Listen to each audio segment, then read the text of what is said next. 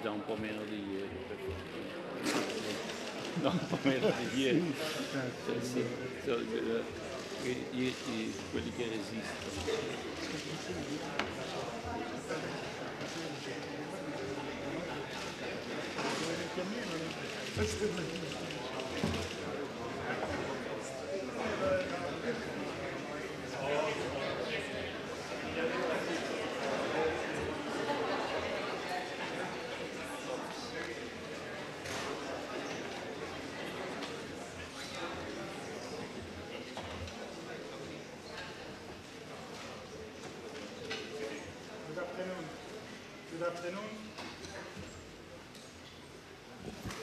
And welcome. Good afternoon. Bon après-midi et bienvenue à notre point de presse sur la rencontre sur la protection des mineurs dans l'Église. Je vous rappelle que ces points euh, de presse va durer jusqu'à 2h30. Donc, euh, étant donné le temps limité, les euh, interviews ne sont pas possibles après la rencontre. Je vous remercie. Je remercie tous ceux qui ont participé, euh, qui abordent ce thème qui est si important, cette crise terrible des abus. Merci le cardinal O'Malley, merci le cardinal Kupich, merci Monseigneur Chicluna, merci le père Lombardi et merci Monsieur Ruffini. Alors moi, je ne veux pas prendre plus euh, de temps les participants à la rencontre avec lesquels j'ai eu la possibilité de parler euh, remercie le Saint-Père, leur son gré, de cet événement des synodalités efficaces. Nous sachons que la rencontre est brève, mais nous sommes convaincus que les fruits vont durer pendant le temps.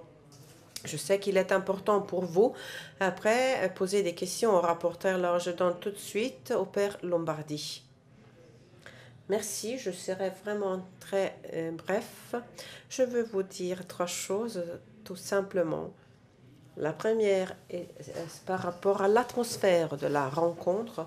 Euh, moi, en, regardant du podium des rapporteurs, je trouve très sereine, très positive, y inclut la sérieuxité euh, du thème, la gravité euh, du thème, le sens de compassion dans la participation, mais avec euh, un- une participation positive. Il n'y a pas de tensions. Il y a, je ressens un grand désir de réfléchir ensemble, une gratitude énorme pour la présence du pape qui accompagne, après avoir convoqué ce groupe, ce corps de responsables ecclésiaux qui réfléchissent, prient et essayent de comprendre toujours mieux leurs responsabilités. Je dois dire que euh, des mots que j'entends, des questions ou dans les travaux en groupe, je vois que la rencontre était utile, voire nécessaire. Ce que le pape disait, c'est il faut faire euh, euh, augmenter, croître ensemble la conscience sur la nature des problèmes et comment les aborder est quelque chose qui doit continuer et qui doit encore être battu, bâti. Donc une atmosphère constructive est vraiment un- une rencontre très très utile.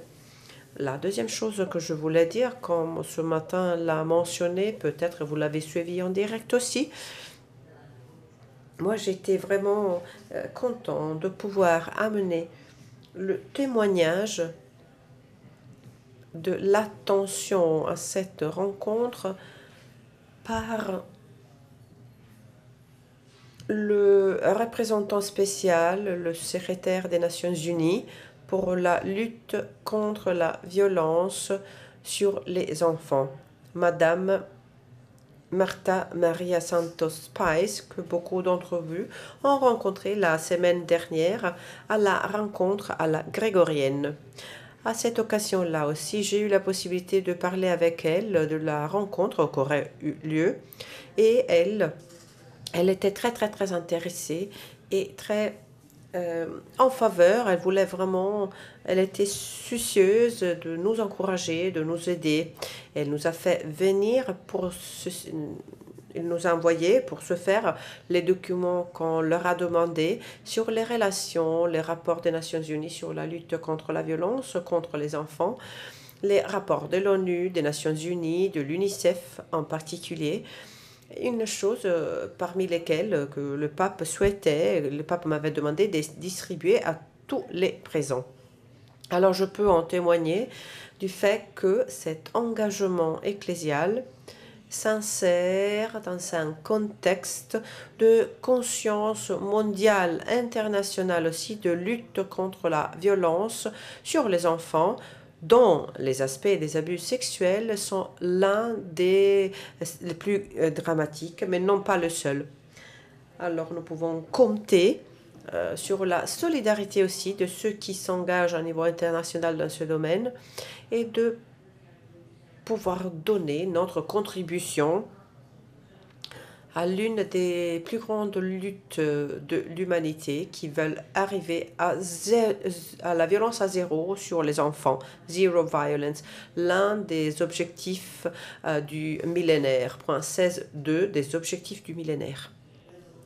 Le troisième point sur lequel je voulais m'attarder brièvement est que les points proposés par le pape pour euh, réfléchir hier suite à son intervention qui ont été distribuées ont été reçus avec une grande appréciation par tous les participants, avec une grande gratitude aussi, et deviennent l'un des lignes de réflexion dans les différents groupes de travail. Alors même si beaucoup de points, hein, pour ceux qui euh, s'engagent dans ce domaine, ce sont des points déjà connus, déjà analysés euh, dans le cours de préparation des lignes guides des conférences épiscopales, des services diocésains et ainsi de suite, l'on voit que ce sont des points très utiles à répéter dans les échanges généraux pour aider le chemin de tous vers un engagement pratique et concret. Alors je pense que vraiment le pape, comme d'habitude, nous a donné son génie et de sa contribution pour faire progresser notre discours ces jours-ci. Merci. Merci Père Lombardi. Je passe la parole au préfet Ruffini. Seulement quelques minutes, je vais vous raconter brièvement la plénière de, de l'après-midi, hier après-midi, ce matin, et les thèmes abordés dans les rencontres des cercles mineurs et les thèmes qui ont été traités par les questions et les réponses aux rapporteurs euh, lors des plénières. Dans les plénières, on a parlé de comment là où on a acquis la conscience de l'importance des procédures pour la protection des mineurs, l'on a eu un saut en avant de qualité et les abus ont diminué. Et ceci concerne quelques pays. Euh, dans ces 15 dernières années, comment la lutte contre les abus ne efface pas mais met en valeur l'engagement de ceux qui, dans l'Église, protègent les enfants, engagement total de l'Église pour protéger les enfants, comment la meilleure défense de l'Église en tant qu'institution reste dans sa capacité de prendre les responsabilités qui en découlent du fait d'être une institution morale solide dans une société fragile et sans orientation? Désorienté. Comment les critiques à l'Église ne sont pas le fruit au moins d'un préjugé négatif, mais expriment souvent le contraire, exactement disent combien le niveau très élevé des attentes, la nostalgie d'un leadership moral fort, exemplaire, et comment, même par ceux qui font des critiques ou qui attaquent, il y a un appel, un cri à être juste et vrai la nécessité de travailler de façon collégiale, synodale, en tant qu'Église universelle, où personne ne peut dire cela ne me concerne pas, où tous doivent reconnaître que l'abus est toujours un crime, n'importe la culture du pays. L'on a parlé de comment aborder le thème de la synodalité euh, pour aborder euh, cette plaie de comment aborder le thème de la sexualité et la formation des séminaristes, que la sexualité ne peut pas être un thème tabou. interdit. Toujours pour ce qui est de la collégialité et synodalité, l'on a dit qu'aucun évêque peut penser que ce problème, c'est moi, euh, je peux l'aborder toute seule. Et ceci, ce n'est pas seulement pour la règle de la souveraineté, mais aussi pour un principe de réalité. Nous vivons tous dans un village global. Et ceci, on, l'a souligné, concerne l'importance d'éclairer par un les procédures des différentes compétences des évêques, des métropolites, des conférences épiscopales, de la congrégation, de la doctrine de la foi. Ceci dans les plénières. Dans les cercles mineurs, les cercles mineurs, on a souligné faut qu'il faut toujours se mettre dans la perspective des victimes, qu'il faut jamais les considérer en tant que menace à l'Église, mais en tant que ses membres. Comment aborder le thème de récupérer les abuseurs une fois punis, du fait que beaucoup d'abuseurs ont été eux-mêmes à leur tour abusés euh, quand ils étaient enfants, en créant un cercle qu'il faut rompre. De la nécessité d'une formation adéquate pour les séminaristes et les prêtres, un vrai discernement de la vocation, dans la vocation à donner soi-même.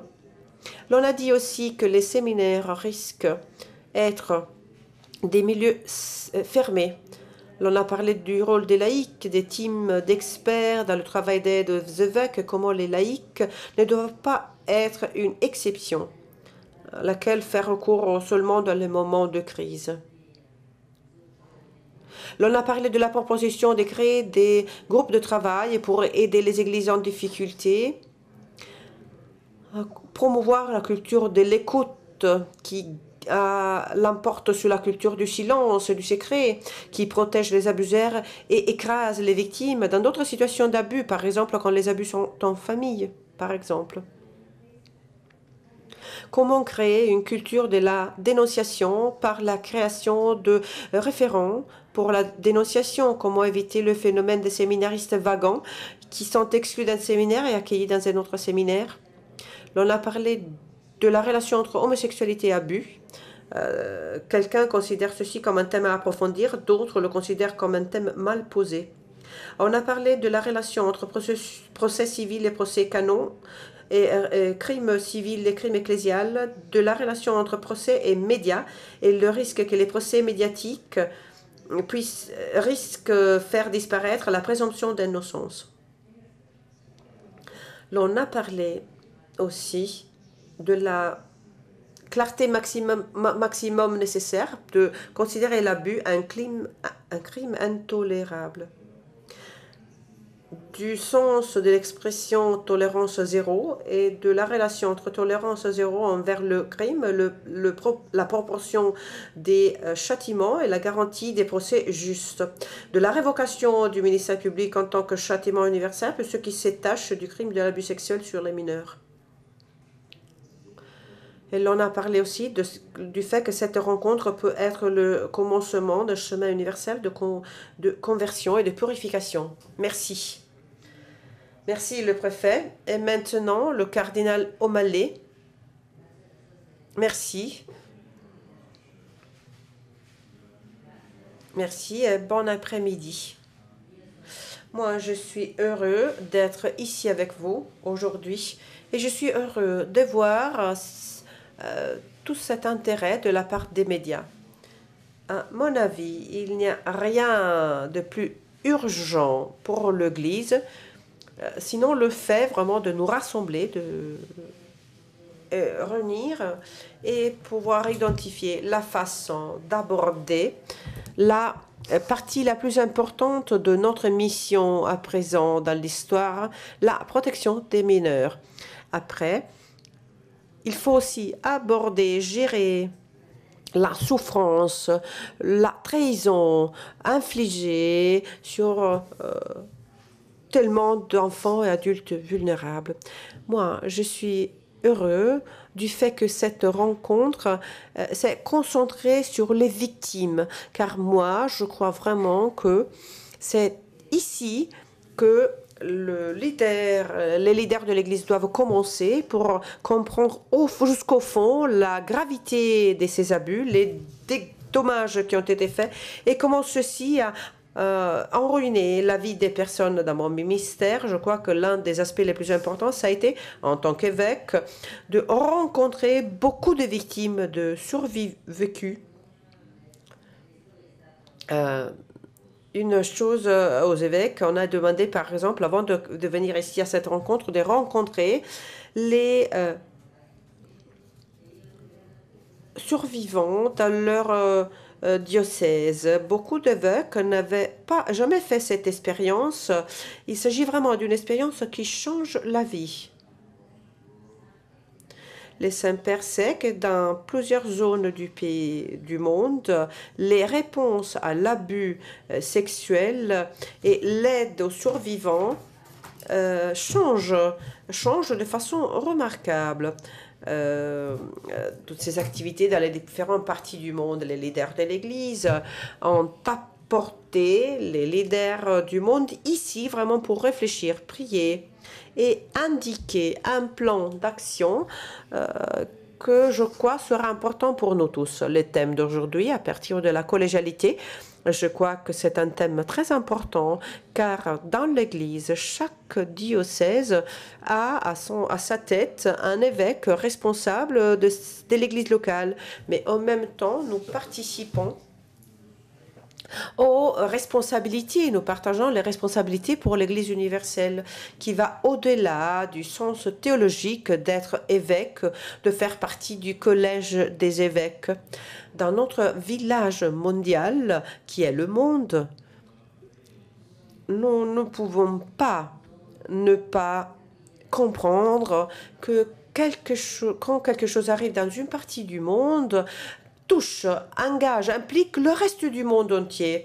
Nous avons vu que quand on a euh, fait des, on a commis euh, des erreurs énormes dans une partie du monde de, l'Église et ces crimes euh, sont découverts, euh, dans des lieux où l'Église a fait davantage pour rester fidèle à sa mission, eh bien, les personnes viennent encore une fois victimiser. Ces personnes euh, perdent la confiance euh, vers l'Église. Les prêtres sont démoralisés. Donc, il ne suffit pas de se préoccuper tout simplement de sa propre zone, de son domaine. Nous sommes tous engagés, tous impliqués. Et comme le cardinal cardinal Gréches aujourd'hui l'a dit, il a fait un discours très très dans ce sens. Il faut nous aider mutuellement, nous soutenir mutuellement pour pouvoir rendre l'Église un lieu sûr pour les jeunes. Nous savons qu'il y a beaucoup, beaucoup de lieux où euh, l'Église n'a pas de ressources, mais nous espérons euh, pouvoir euh, développer des façons par lesquelles nous pourrions partager aussi nos ressources. Euh, à l'intérieur de l'Église, le cardinal Supich a parlé de la synodalité aujourd'hui. Il s'agit d'une chose très importante. Je viens de l'Église américaine où euh, le thème entier de la redevabilité, de la responsabilité des évêques est un thème au premier plan et euh, sûrement, euh, il y a, on a fait une grande différence dans la façon dont l'Église réagit, répond à la crise des abus euh, sexuels. Il y avait des lacunes énormes à aborder rapidement, tout de suite. Je crois le cardinal pitch aujourd'hui a présenté des idées très pratiques qui pourront nous aider à quitter cette conférence et à euh, devenir plus capable d'aborder le thème de la responsabilité pour arriver à impliquer les laïcs aussi et redonner de la confiance aux personnes car nous allons donner une façon, une procédure par laquelle les personnes pourront euh, signaliser, dénoncer une accusation, un problème et moi, je, me ressens, je sens vraiment un sentiment d'encouragement. Euh, le partage euh, entre les différents groupes, les évêques, entre les différents groupes euh, linguistiques a été très positif. euh, je crois que tout le monde comprend euh, la gravité de ce thème et donc cette rencontre des présidents, des conférences épiscopales et eh bien, les personnes veulent développer des idées pratiques qui après peuvent être mises en œuvre partout dans le monde. Merci. Merci, Cardinal Soupit, s'il vous plaît. Merci, merci beaucoup. Bon après-midi. Euh, merci, car euh, vous êtes en train de euh, rapporter sur cette rencontre très importante que nous avons ici à Rome. Et moi, je veux faire référence à ce qui vient d'être dit par le cardinal O'Malley, qui concerne le fait que nous sommes ici justement grâce au témoignage euh, des victimes, des survivants, lors des rencontres que j'ai eues avec eux, j'ai ressenti vraiment qu'ils euh, font en sorte que nous sommes concentrés, dédiés, que nous apprenons de plus en plus quelque chose de nouveau. Vous avez écouté une victime euh, si vous l'avez, si vous avez entendu une victime, vous avez entendu une victime, car chaque histoire est spécifique, unique. Nous voyons un développement organique dans le cours de ces journées du thème de la propriété, à savoir la responsabilité. Propriété dans le sens de responsabilité. Voilà, c'est chose qui est à moi, qui me concerne en tant qu'évêque. Mais nous sommes aussi ensemble, le Collège des évêques, euh, lui aussi responsable, car, comme l'a dit le cardinal O'Malley, euh, si une chose arrive dans une partie de la terre, nous concerne tous, car nous devons nous occuper de tous les enfants de Dieu. Demain, nous allons euh, voir euh, comment nous sommes responsables tous ensemble en tant qu'Église. Voilà pourquoi la transparence est importante. La transparence concerne la communication constante. Il faut être sûr que tout le monde ait une voix pour euh, comprendre, afin de comprendre de façon très transparente. Probablement, vous aurez, vous avez remarqué que les échanges, le débat se concentrent non seulement sur la vision qui est importante, car il faut le dire, il faut se rappeler de ce qui nous sommes, mais aussi la stratégie. Il y a des aspects stratégiques tactiques importants. Le Saint-Père l'a dit clairement au comité organisateur. Moi, je veux des concrets, des étapes concrètes, des résultats pratiques concrets. Et nous commençons à voir que tout ceci est en train de se dérouler. Mais nous pouvons approuver toutes les lois qu'on veut, mais s'il n'y a pas une motivation, s'il n'y a pas un vrai sentiment de responsabilité par tous les évêques et par toutes les conférences épiscopales, nous n'arriverons à aucun résultat. Donc voilà la force qui nous tire, la force euh, euh, puissante sur cette rencontre. Développer ce sentiment de responsabilité à niveau personnel, ensemble en tant que collège d'évêques et ensemble en tant qu'Église. cela va nous marquer la voie à suivre, un parcours, le parcours à suivre va nous donner une direction pour faire des choses stratégiques et concrètes. Monsieur, euh, Monseigneur Chicluna. Je voudrais me concentrer sur deux mots que je crois euh, euh, nous donnent le sentiment de la contribution de ce matin. Ce sont des mots techniques, mais je crois qu'il faut écouter très bien ce que ce, au sens que ces mots peuvent avoir pour nous et le public en général. Quand le, on parle de collégialité, euh, cela veut dire que nous, en tant qu'évêques, cela nous rappelle que notre mission n'est pas seulement d'avoir, de s'occuper d'une communauté locale. Nous sommes des évêques résidentiels, Boston, Chicago et Malte. Mais nous sommes appelés aussi à servir l'Église universelle en tant qu'évêques. Nous faisons partie d'un collège, une équipe un collège d'évêques. Et à, la tête de ce collège, il y a le Saint-Père. Et notre mission reste dans le fait de donner une contribution au bien-être de l'Église universelle, de l'Église catholique. Cela signifie euh, rendre compte non seulement nous-mêmes, notre conscience, mais il faut rendre compte aussi au collège. Je crois que ceci a été l'aspect le plus important souligné par le cardinal Gracious. Mais c'est un aspect qui concerne la raison euh, dont nous avons besoin, euh, qui a souligné le cardinal Chupich et qui a parlé aussi d'un autre thème, la synodalité, la redevabilité, la responsabilité dans le contexte d'une église des pèlerins. Donc, je crois qu'il faut souligner ceci et il faut le développer davantage dans notre vie euh, pratique.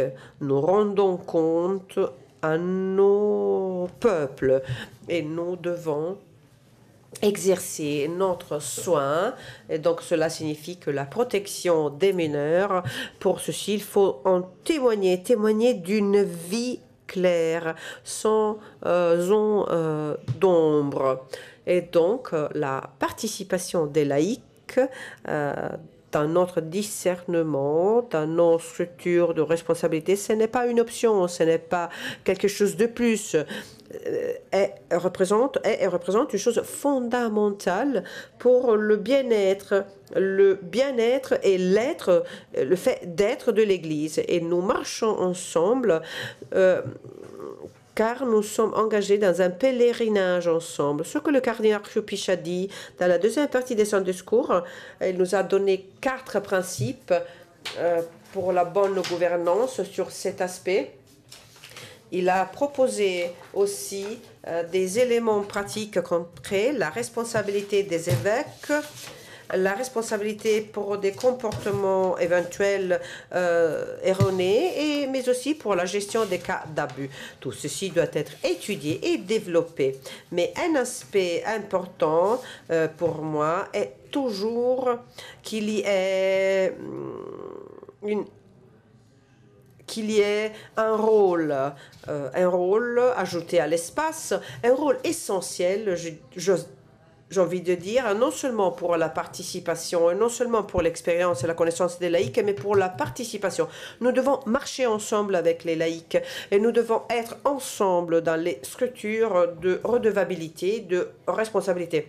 Si nous parlons des évêques, il, euh, nous savons que le pape a une juridiction spéciale par rapport aux évêques et ceci doit être respecté car ceci fait partie de l'essence de l'être, euh, le fait d'être Église, surtout l'Église romaine catholique.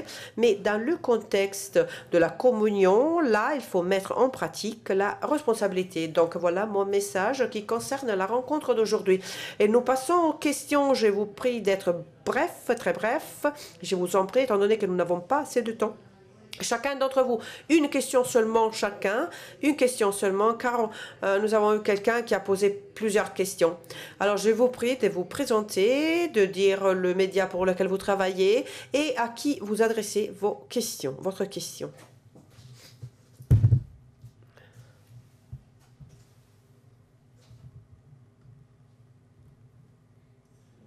Merci. Eh, perché è così difficile di Pourquoi il est très si difficile de juger la responsabilité personnelle et non collective d'un évêque, responsabilité juridique quand cet évêque a couvert étouffer des abus sexuels. Euh, ce n'est pas un procès, à l'intention. Il y a trois faits très clairs. Quand nous sommes rentrés de, euh, de son voyage, le pape a dit qu'un tribunal pour les évêques au Vatican n'est pas possible. On ne peut pas le faire. Après, le cardinal Chupich ce matin a expliqué dans la deuxième partie de son discours qu'il est difficile de, euh, de ranger ce jugement en parlant d'une décentralité de ce procès. Il y a ce numéro 7 de la liste d'hier qui parle non de jugement par les évêques, mais gestion des problèmes des évêques. Donc, pourquoi il est si difficile? Y a-t-il un problème de résistance interne, un problème de statut des évêques? Et pourquoi, après le motu proprio de il y a trois ans, il n'y a pas eu des Combien d'évêques ont été vraiment jugés? Il, me semble-t-il qu'il y ait une résistance. Je veux comprendre pourquoi.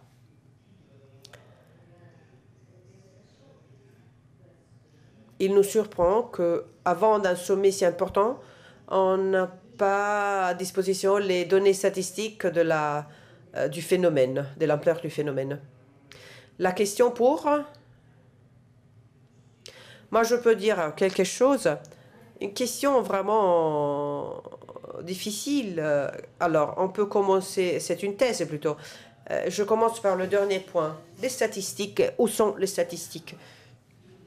Alors, je dirais que l'information la plus ample, détaillée, auprès de la Congrégation pour la doctrine de la foi. Euh, je suis secrétaire adjoint désormais et euh, je ne me cache derrière rien. Peut-être je peux me cacher ici derrière cet écran. Je parlais avec le préfet, le cardinal Adair, de ce, de ce thème.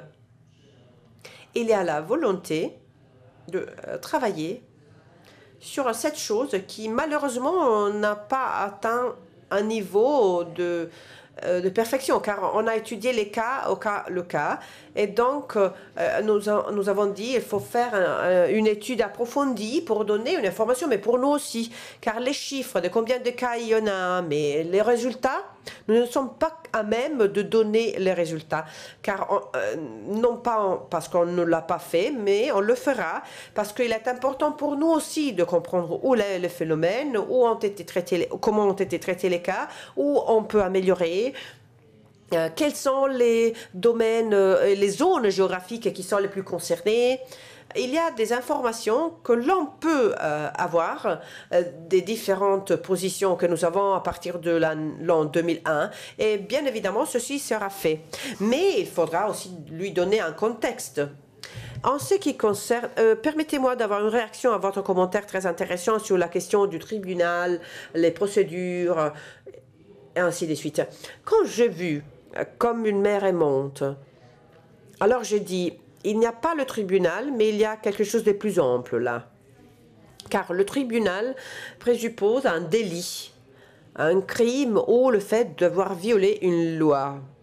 Mais euh, comme une mère aimante regarde à l'état objectif de l'incapacité de faire du bien ou de la non-volonté de faire du bien, ne rentre pas dans le thème parce que tu es malicieux. Il y a eu de la malice, euh, parce que pour éprouver le délit, il nous faut le dolus. ceux qui dénoncent ne doivent pas éprouver ceci. Euh, ne doivent que dénoncer le fait objectif. Ici, on n'a rien fait, on a bien fait. Alors, comme une mère aimante aide ceux qui veulent dénoncer le fait objectif et ne donne pas ceux qui accusent de, euh, de prouver la méchanceté, la malice. Voilà pourquoi l'on a privilégié, euh, d'après moi, je regarde avec les, les yeux de quelqu'un à l'extérieur, mais c'est la logique que je trouve le tas objectif, euh, le fait de ne pas avoir fait ses objectifs et, donc la révocation d'un leader qui n'est pas efficace. Et euh, c'est la même chose que l'on fait, et s'il a déjà été sanctionné dans le code, dans le deux canon 1740-1741, où il y a une liste de causes où l'évêque peut révoquer un curé, un pasteur d'un troupeau, euh, d'une communauté. Alors là, les canons, là aussi, ne regardent pas la méchanceté, mais l'état objectif de l'incapacité de gouverner, d'être pasteur. La procédure de comme une mère aimante essaye de regarder à ceci d'enlever, de révoquer un leader efficace sans dire euh, c'est le châtiment car tu es une personne mauvaise. Non, tu n'es pas capable, tu ne peux pas continuer. Bien évidemment, l'on n'exclut pas le moment pénal. Et d'après moi, comme mère aimante, déjà ouvre cette possibilité quand le pape appelle une commission de juristes et hum, décide sur la façon de procéder. Donc voilà l'avantage du système euh, qu'a choisi euh, François sur faire seulement un tribunal où ceux qui dénoncent euh, la charge de démontrer quelque chose qu'il est difficile de démontrer, tandis que l'état objectif est très évident et on en prend acte. Je peux ajouter que les procédures, la procédure est dans la comme une mer aimante. La, euh, le Saint-Siège est en train de travailler euh, à une préparation des, des systèmes d'éclaircissement de cette euh, qui va apparaître. Ce matin, le cardinal Chupich a été euh, s'est concentré particulièrement sur le thème sur comment la dénonciation se fait euh, comment on peut dénoncer un évêque qui a étouffé ou qui est négligent euh, par rapport à euh, un cas. Et pour ceci, nous voulons avoir un protocole très clair pour ceci aussi. Et sûrement, à la conférence épiscopale des États-Unis, il s'agit de quelque chose qui est vraiment très, très présent à notre esprit. Inès Martin et Gasparoni après. Inès Martin.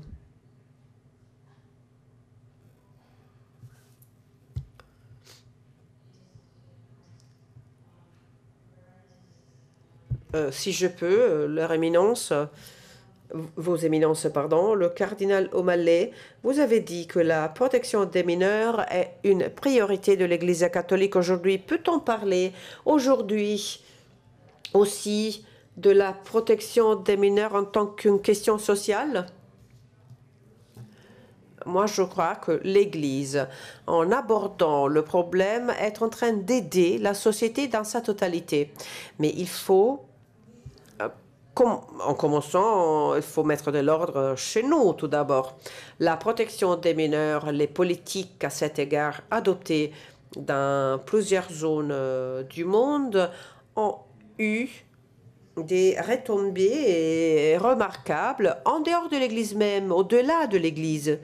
Dans quelques pays où un haut pourcentage d'enfants euh, fréquentent des écoles catholiques, des institutions catholiques, mais dans notre expérience aussi aux États-Unis, dans euh, ces 15 dernières années, euh, beaucoup, beaucoup d'autres églises, organisations se sont adressées à nous pour, euh, en nous demandant de partager avec eux nos expériences. Donc, je crois que vraiment, nous contribuons, nous sommes en train de contribuer, le Saint-Père, à demander euh, qu'on euh, distribue à tous les évêques aujourd'hui le document, les documents des Nations Unies. Donc, il est conscient du fait qu'il euh, ne s'agit pas seulement d'un effort qui me fait progresser par l'Église. Nous faisons partie de la famille humaine et nous sommes tous préoccupés pour les enfants.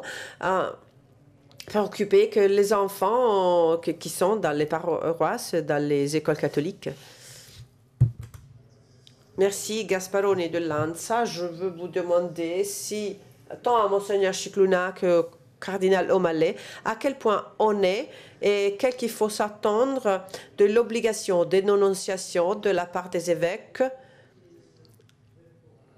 aux autorités civiles car il y a des conférences épiscopales qui se comportent, qui prévoient une chose différente. Il y en a euh, qui le prévoient en tant qu'obligation et d'autres non.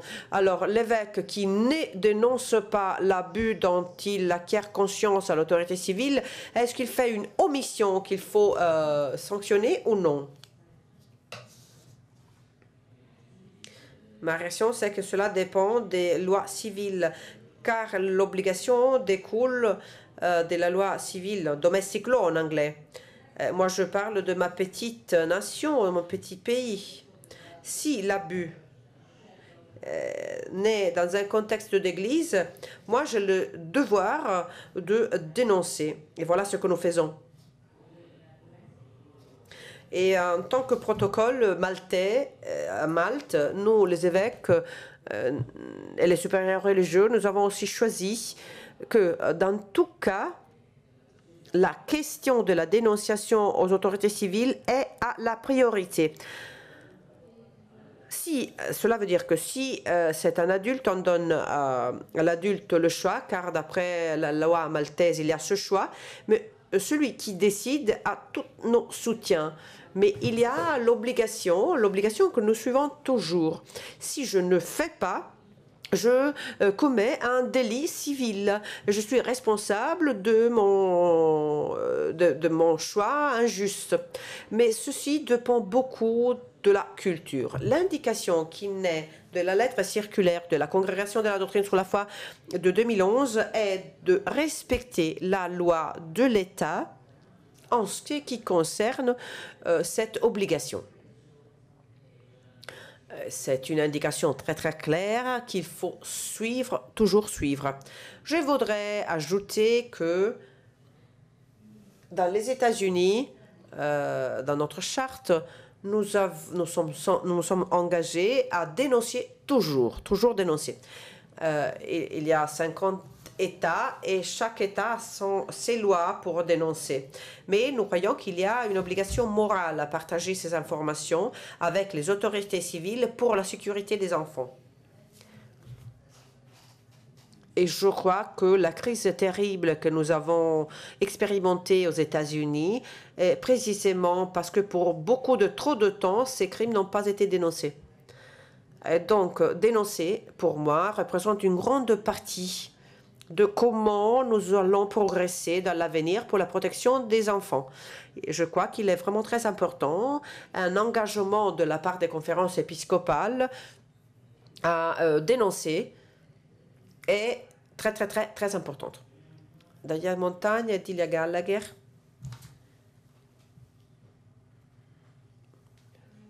Daniel Montagne, je, archevêque Chicluna, hier, en répondant à d'autres questions, vous avez parlé de la nécessité de, du thème de l'homosexualité et de ne pas créer des catégories de, de généralisation des personnes.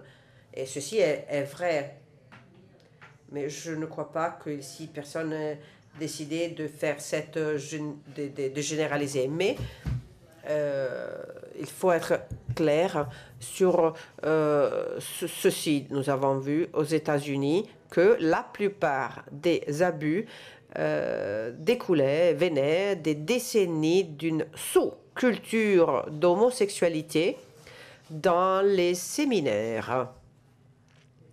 Heureusement, aux États-Unis, les séminaires ont fait des grands pas en avant dans ce sens, mais dans d'autres pays, ce n'est pas le cas. En Honduras, nous avons eu 50 séminaristes qui ont écrit aux évêques de la nécessité de nettoyer les séminaires. Alors, euh, même si nous ne devons pas généraliser, moi je demande euh, si pensez-vous tous qu'il est important d'aborder cette situation à l'intérieur du clergé. En réalité, ceci n'a rien à faire avec les abus sexuels des mineurs. Vous l'avez dit, clairement dit que ce n'est pas le cas. Moi, je vous remercie. La réponse à votre question est oui. On ne peut pas ignorer une conduite qui est euh, péché, euh, du péché, mais nous ne parlons pas des abus sexuels des mineurs. Alors, je dois être euh, rigide sur ce point. Une seule question, s'il vous plaît. Chacun. Et des questions brèves. Le cardinal O'Malley, cardinal Chupich. En 2002, les cardinaux des États-Unis étaient ici il y avait Saint Jean-Paul II et beaucoup des présents étaient présents. Et euh, le visage rassurant de l'époque, c'était le cardinal McCarrick qui euh, samedi a été réduit à l'état laïque et lui, il été responsable d'abus.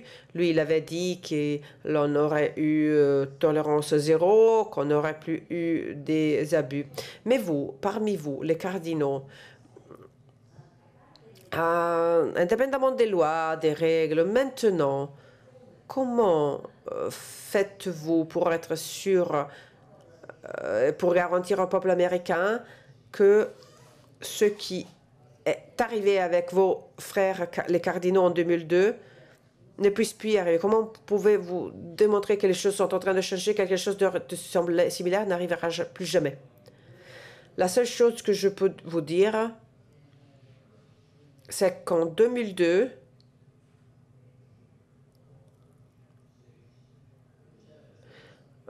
moi, je n'étais pas là. Moi, je suis peut-être le plus jeune des cardinaux des États-Unis, mais moi, comme les autres, je dois rendre compte de ce que j'ai fait. J'en suis responsable. Moi, j'ai vécu ma vie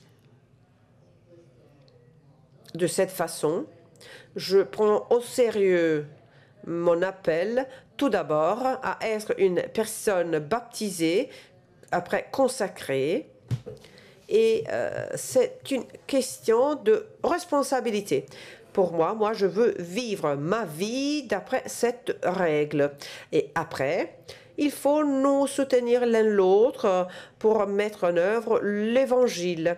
Et la situation de Theodore McCarrick représente vraiment un moment très triste dans l'histoire, mais en même temps fait en sorte que euh, chacun puisse vivre sa vie de façon authentique en face de Dieu en face de son peuple. C'est la responsabilité. Et je voudrais simplement dire que je suis d'accord avec le cardinal Chupich. C'est un moment très triste pour nous tous.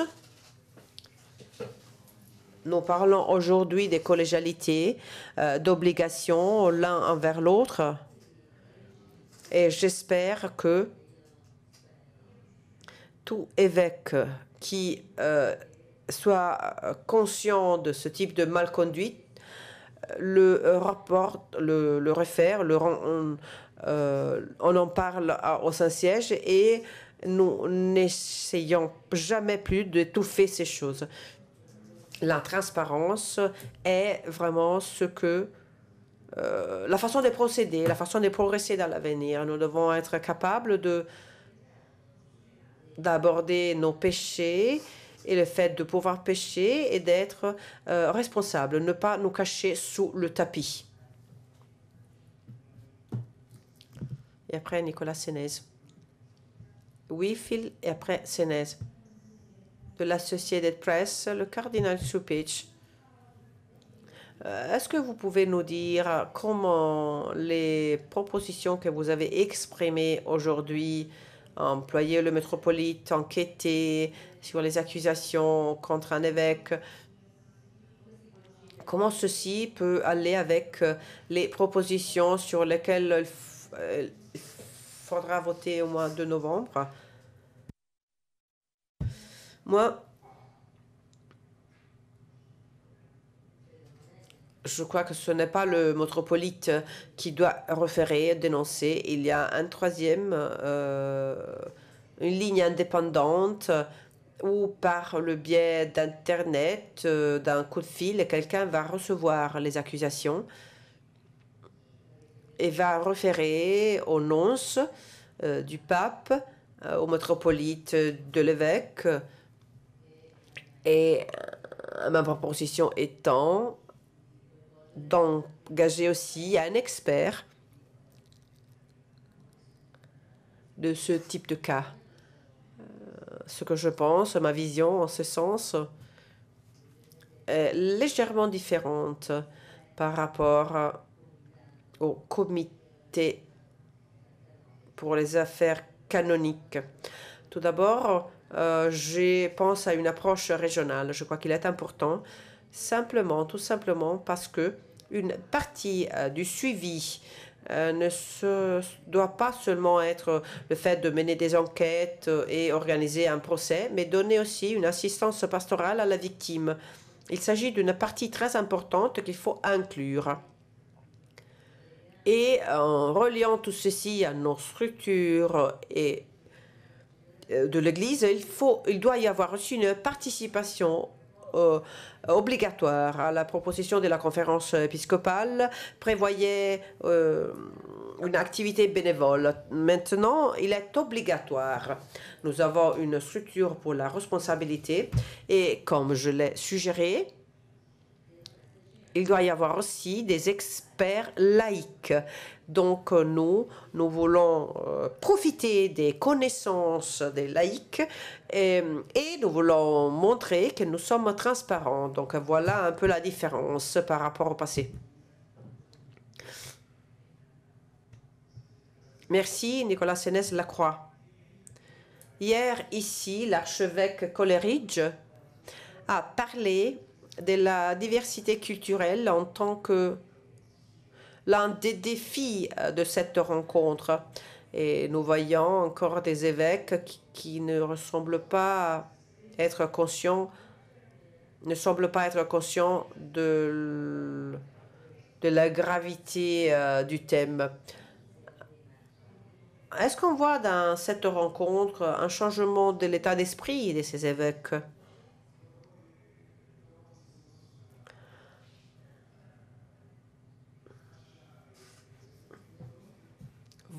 Est-ce que vous voyez qu'il y a ce, ce changement dans l'esprit?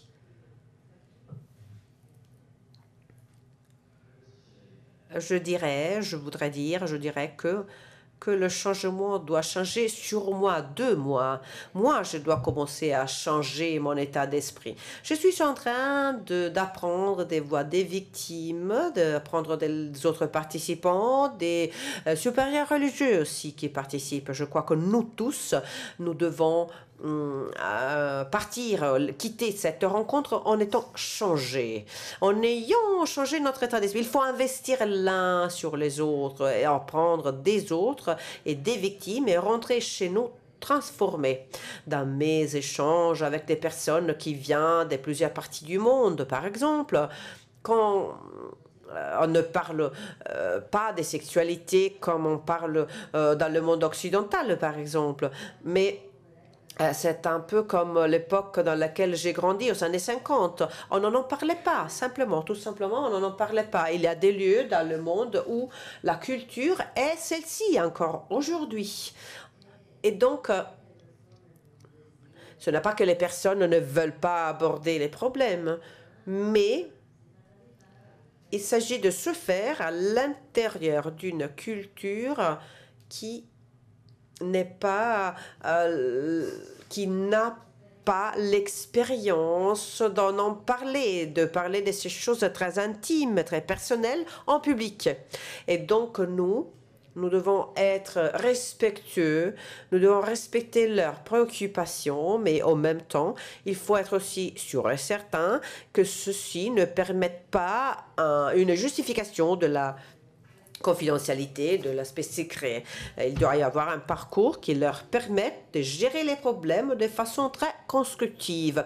Et moi, je vois cette volonté. Cela me donne de l'espoir. Il faut faire en sorte que nous ne transformons pas en impérialistes euh, par les États-Unis ou le monde occidental. Euh, voilà la synodalité. Il s'agit de marcher ensemble.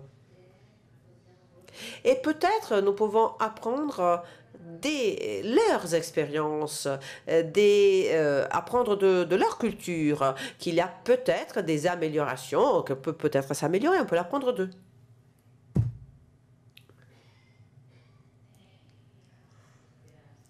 Merci Anne Thompson, NBC News.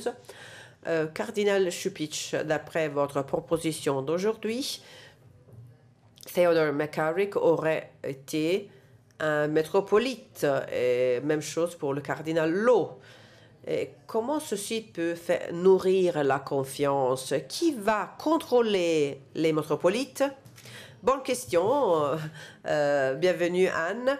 Mais ma proposition, c'est il faut voir les, euh, bien les notes. Alors, moi, je ne voudrais pas rentrer dans le fond de, la, de, de, la question, mais il y a tout un long paragraphe qui décrit qu'est-ce qu'il faut faire quand un métropolite est accusé ou bien, il pourrait y avoir euh, un métropolite régional ou la conférence épiscopale pourrait choisir une autre personne ou hum, un évêque de la province même. Mais il y a une façon d'agir, d'intervenir. Il faudrait aussi faire en sorte que N'importe qui est l'évêque qui s'occupe d'un cas, il faut impliquer, engager aussi un laïc, parce que ceci euh, garantit non seulement la transparence, mais garantit aussi l'Église. À savoir, nous sommes tous engagés, nous travaillons tous ensemble, nous agissons tous ensemble. Il y a des parcours, nous le savons dans le système des tribunaux aussi. Nous avons des juges qui, parfois, renoncent. nous le savons dans la société civile aussi. Et donc, nous pouvons apprendre de ces expériences.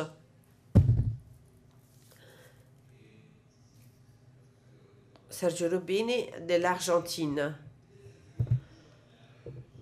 Euh, Sergio Rubin, vous avez insisté davantage euh, sur la responsabilité des évêques, comment veiller à contrôler leurs responsabilités.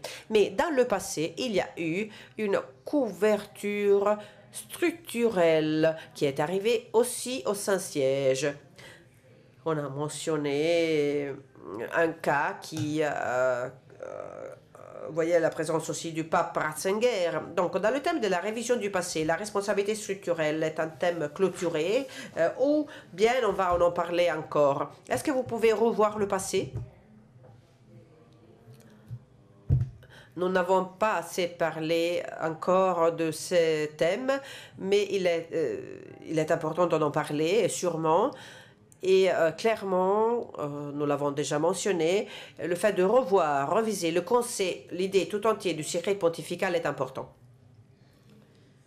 Bien évidemment, la transparence est fondamentale si nous voulons aborder ce problème. Et donc, non seulement à niveau des pays, mais aussi euh, du Saint-Siège.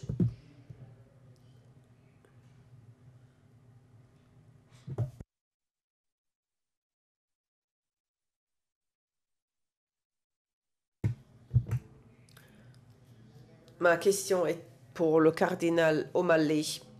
Moi, je euh, voulais poser une question sur le 21 points euh, délivré par le pape hier. Il y en a qui, euh, il y a eu des survivants qui ont été un peu déçus, qui ont dit que c'était un pas en arrière, car les points ne font pas référence à la tolérance zéro. Alors, je ne sais pas si vous avez lu ces critiques. Je me demande si vous pouvez répondre à ces critiques. Comment, comment pensez-vous, quelle est votre considération de ces 21 points? Alors, ces 21 points, hein, ce ne sont qu'un point de départ. Euh, moi, j'ai n'ai jamais pensé euh, que c'était euh, le contraire de la tolérance zéro. Moi, je sais qu'on n'aime pas employer ces mots, euh, ces mots qui donnent un sentiment séculaire, laïque. Mais l'idée a été exprimée par Jean-Paul II. Il n'y a pas de place dans le ministère pour qui fait du mal à un enfant. Et voilà une ligne rouge, tellement important pour, pour, pour nous tous. Et ils viennent de me rappeler que quand le Saint-Père nous a donné euh, ces points, il nous a dit, voilà des points suggérés par les évêques.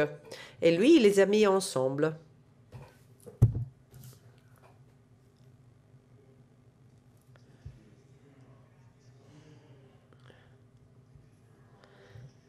Merci, Wall Street Journal.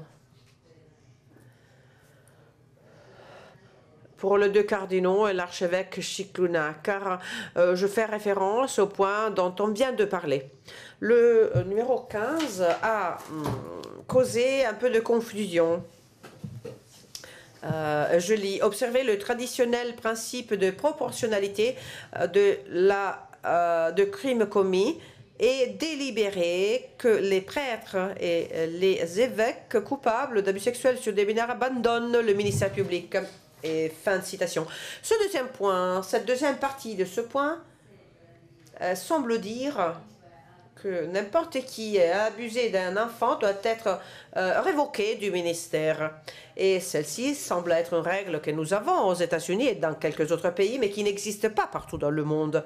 Mais hum, par rapport à la première phrase, euh, peut causer un peu de confusion, car euh, l'aspect de la proportionnalité, principe évoqué par ceux qui disent qu'il ne peut pas y avoir une action qui est la même pour tous, différentes sanctions dépendent de la gravité hum, du délit, donc je me demande comment il faut interpréter euh, ce principe de proportionnalité. Est-ce que cela vous permet d'avoir une règle d'après laquelle il est tout de suite révoqué du ministère ceux qui sont coupables d'un abus de ce type? Quand nous avons parlé euh, de notre charte aux États-Unis, euh, l'idée était euh, personne ne peut continuer à opérer dans le ministère, à l'intérieur du ministère, quand il a commis, il a frappé, il a fait du mal à un enfant. Mais parfois, les cas impliquaient aussi des personnes qui étaient âgées, euh, malades, dans des communautés religieuses. Et ils ont pensé que peut-être euh, il fallait euh, garder cette personne à l'intérieur de la communauté pour la suivre, pour la contrôler, pour la sécurité des enfants. Donc ce n'est pas le même résultat, bien évidemment, mais la révocation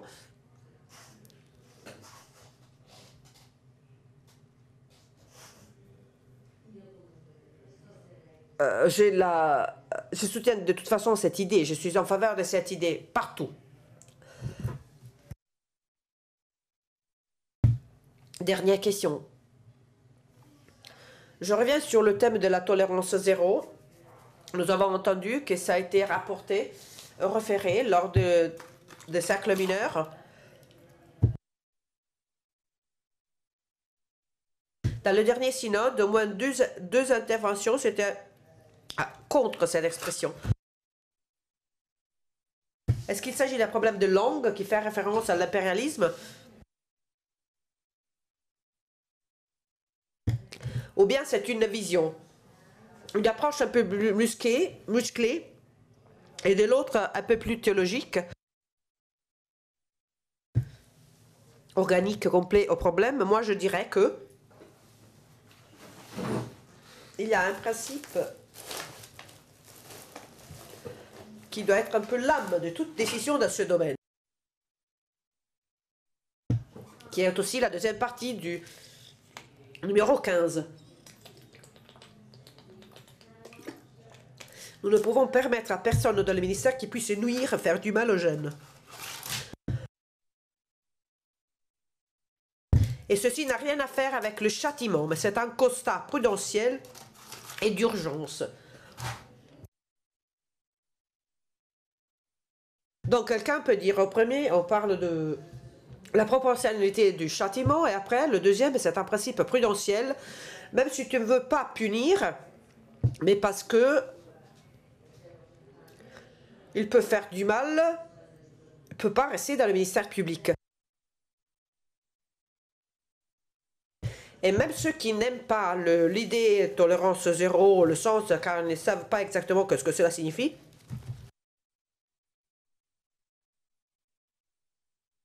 personne ne peut dire que s'il y a quelqu'un qui fait du mal aux jeunes, je le laisse dans le ministère. On ne peut pas le dire. C'est un principe qui est déjà déclaré de façon très claire par Jean-Paul II, le 23 avril 2002.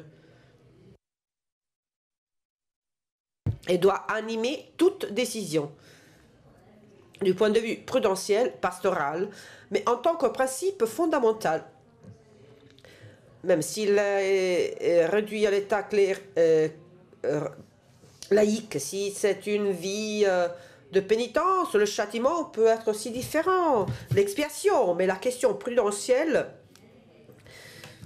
d'être capable d'être apte au ministère est tout d'abord criminel. Je n'enlève pas une personne du ministère pour punir cette personne, mais pour protéger le troupeau. Voilà la perspective la plus fondamentale. Le père Lombard, il voulait ajouter quelque chose.